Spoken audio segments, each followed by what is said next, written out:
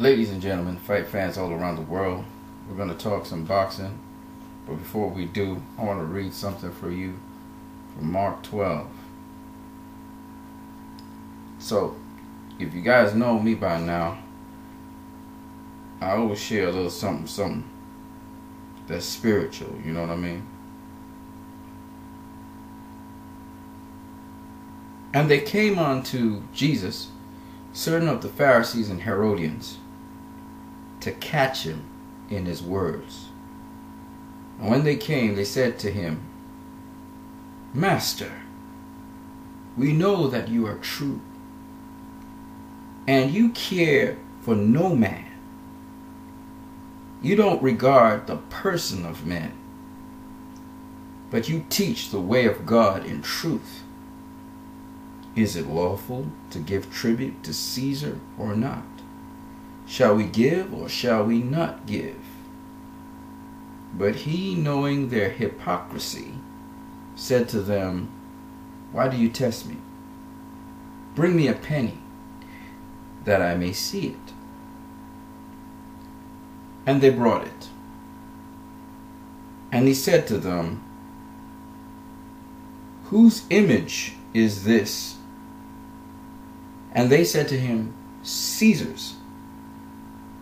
And Jesus answering said unto them, Give to Caesar what is Caesar's, and to God what is God's. And they marveled at him. See, people will always come like snakes, trying to expose you as a hypocrite. But what happens in the end is when you start to break that truth to them, then they will marvel. Let's get into the boxing.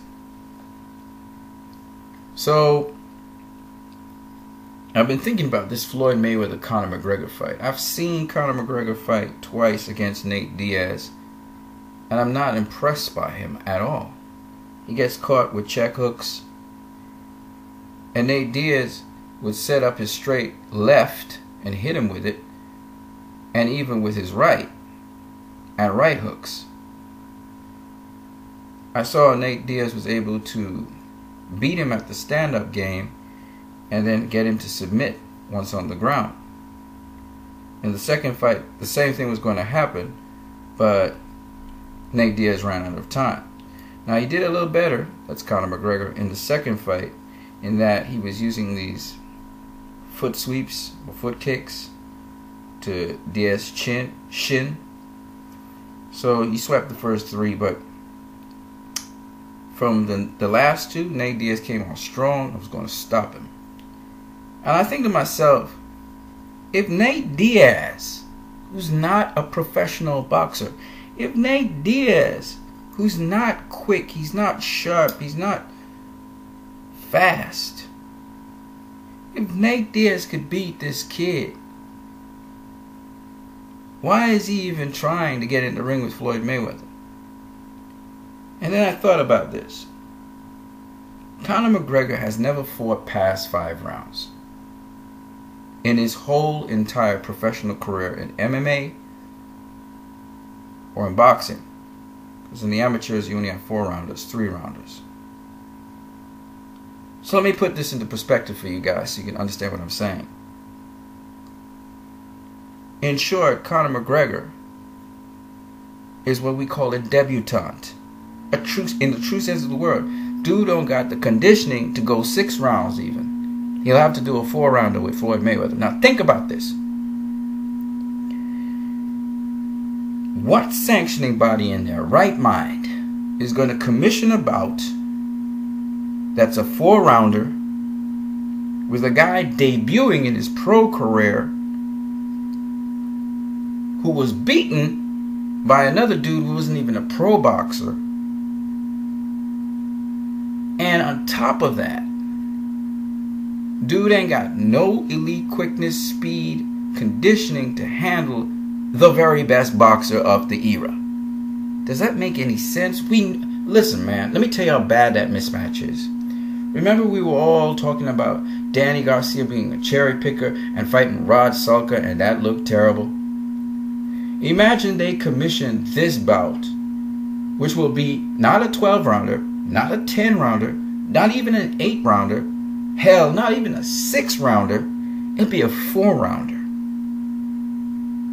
Shoot, this is a worse mismatch than Danny Garcia Rod Salka. It's a worse mismatch than Julio Cesar Chavez versus a debutante.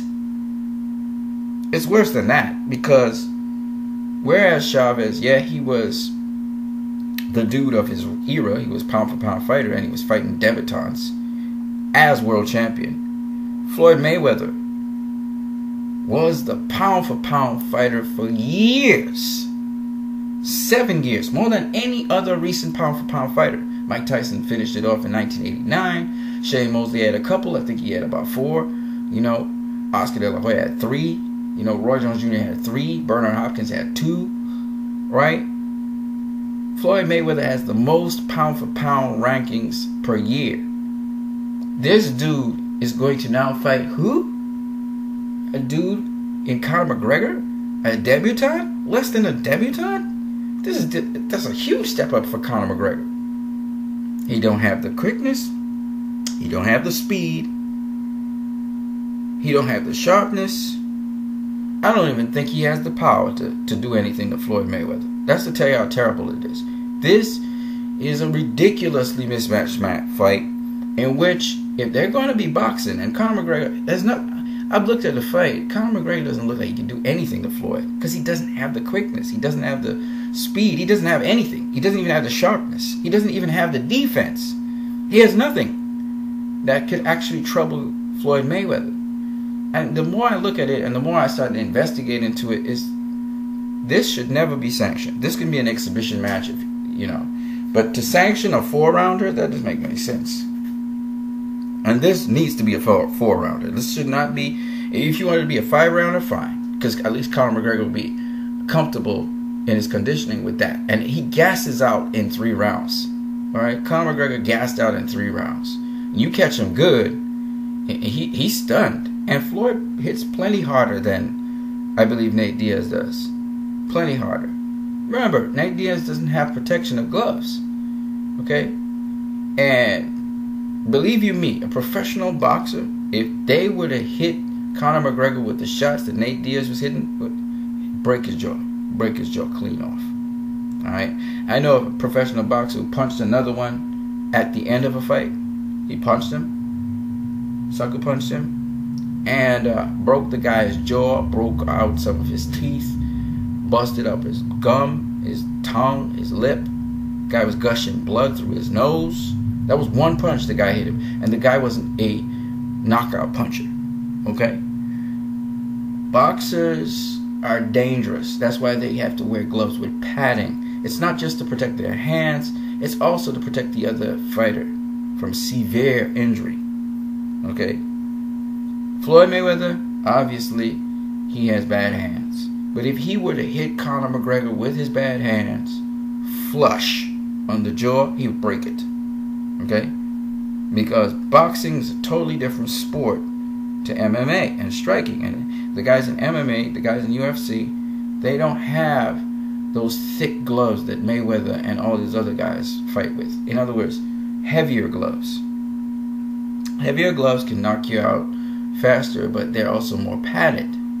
See what I'm saying? Anyway, that's all I got to say about that. Um, I think if they want to have it as an exhibition match, great.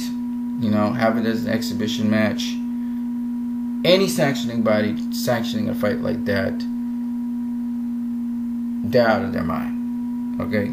They're out of their mind. And it's kind of disgraceful to the sport of boxing because while it is crossover we're talking about and it's amusing, to put that as a boxing fight, I think is to to make Chavez look so good. Julio Cesar Chavez Sr. looked really great. It, you kind of validate, oh, Julio Cesar Chavez was all right, man. He fought a debutante. You know what I'm saying? That's okay.